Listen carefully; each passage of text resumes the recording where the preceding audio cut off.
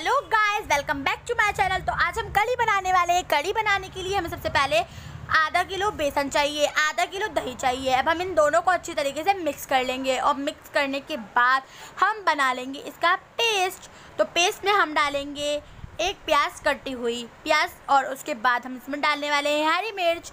दो हरी मिर्च आप इसमें कट करके डाल दीजिए, ज़ीरा और लहसुन डाल दीजिए। वन टीस्पून ज़ीरा, टू टीस्पून लहसुन और इसमें अब हम वन टीस्पून लाल मिर्च पाउडर और हाफ़ टी स्पून हल्दी डाल के इसे पकने के लिए हम रख देंगे। अब बार उसमें पानी भी मिला लीजिए ताकि हमारा पतला हो जाए। अब बारी है हमारी पकौड़ियों की, पकौड़ियों में हम बेसन लेंगे अपनी पकौड़ियों के हिसाब से। इसमें हम वन टी लाल मिर्च पाउडर डालेंगे, वन टी लहसुन डालेंगे, वन टीस्पून ज़ीरा डालेंगे। उसके बाद अब हम इसे जो है अब हम इसके अंदर डालने वाले हैं हरी मिर्च और प्याज कट कर कर अच्छी तरीके से। अब हम इसके अंदर हरा धनिया भी डाल देंगे ताकि और इसे हम अच्छी तरीके से मिक्स करके थोड़ी देर के लिए छोड़ देंगे ताकि हमारा गाढ़ा हो जाए। होने के बाद अब हम इसकी फुल्कियाँ बना लेंगे यानी पकौड़ियों को अब हम फ्राई करके इसके अंदर हम डाल के मिक्स करके इसका भगार करेंगे। भगार करने के बाद इस time bye guys subscribe my channel like my video and share with